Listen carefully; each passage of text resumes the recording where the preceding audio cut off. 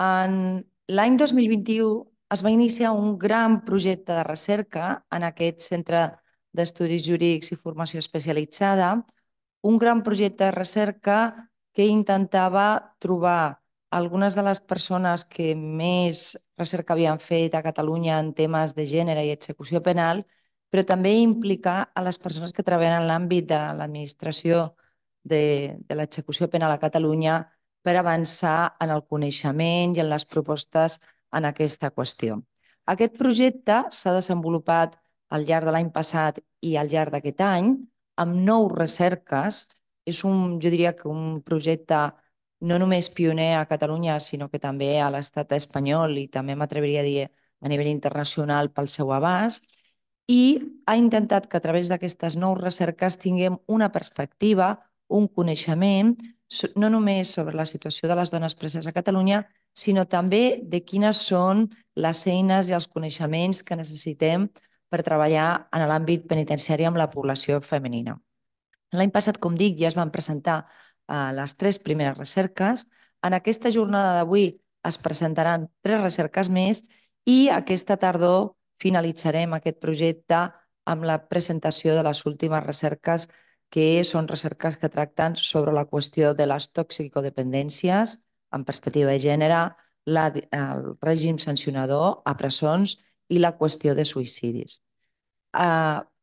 per tant, estem davant d'una jornada que crec que no només ens il·lustrarà, ens aportarà coneixements, sinó també que és una jornada que serà molt útil per totes les persones professionals i per totes les persones que fan algun tipus d'intervenció amb dones preses o recluses. Voldria agrair a totes les persones que han participat al llarg d'aquests dos anys en aquest projecte i molt especialment en algunes de les persones que el van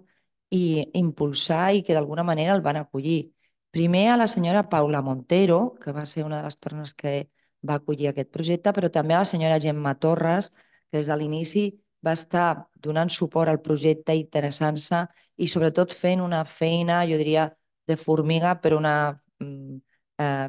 feina de formiga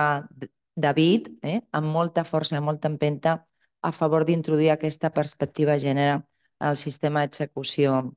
de Catalunya. D'altra banda, voldria agrair a totes les investigadores que han col·laborat i que continuaran col·laborant amb nosaltres fins aquesta tardor, a les associacions que avui també han convidat a acompanyar-nos en aquesta jornada i a tots els companys i companyes que tant des de l'àmbit de que dintre del nostre centre d'estudis porta els estudis d'execució penal i, per tant, a l'àrea de recerca d'execució penal i al seu director i a la senyora Mària Martínez i al senyor Manel Capdevila, però també a les companyes de, i companys de l'Observatori Català en Justícia eh, contra les violències masclistes, perquè són ells els que han tirat endavant aquest projecte al llarg d'aquests dos anys que l'han coordinat i que han organitzat les jornades amb les que estem avui, especialment el senyor Alejandro Sánchez Sicilia, que després el veurem moderant les taules rodones, que ha estat darrere de la coordinació d'aquest projecte que, com dic, ha estat molt complexa. Parlar de gènere i execució penal és important perquè no només estem parlant d'un objecte d'estudi eh, específic, sinó que estem parla parlant d'una perspectiva, d'introduir la perspectiva eh, de gènere, la perspectiva feminista en un àmbit. I aquesta introducció, aquesta perspectiva implica no només estudiar dones que estan recluses, sinó implica per mi almenys tres qüestions que crec que al llarg de, del matí veurem molt clarament. En primer lloc, eh, reflexionar sobre què vol dir la metodologia, la metodologia en perspectiva de gènere, la perspectiva de gènere com a metodologia.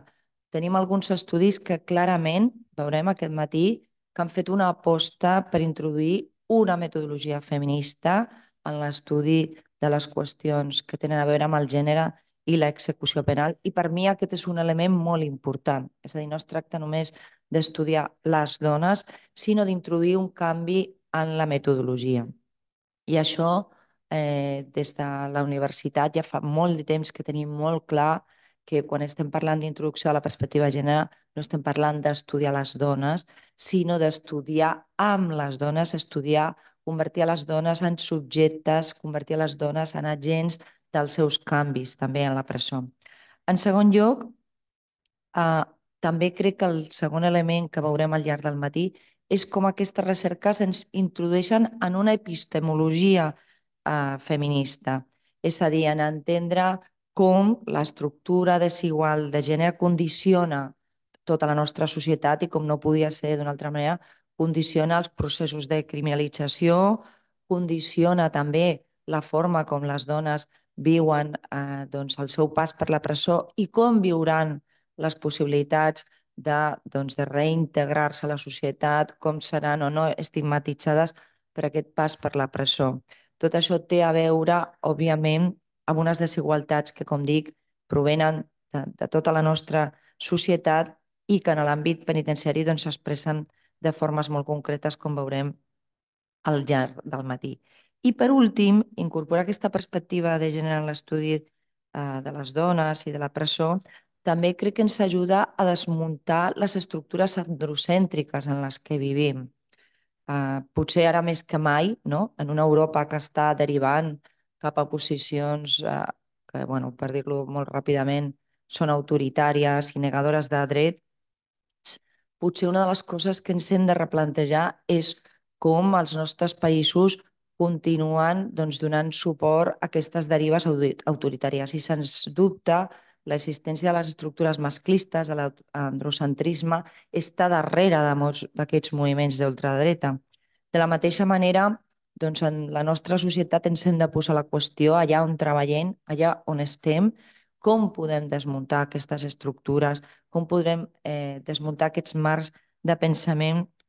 androcèntric amb els quals molt sovint treballem, eh, qüestions que semblarien neutrals Ara sabem que no ho són i que el coneixement que tenim, per exemple, sobre la salut o sobre l'esport o sobre l'arquitectura, com veurem aquest matí, doncs ha estat marcat també per una perspectiva androcèntrica. Per tant, espero que aquesta jornada no només ens doni estrictament el que podria dir un coneixement sobre les dones preses i les seves realitats i els seus problemes i les seves necessitats, sinó que marqui una pauta de feina, una, part de, una manera de treballar en la que moltes persones en consta que dintre de l'àmbit de l'execució penal estan tirant una pauta de treball, per tant,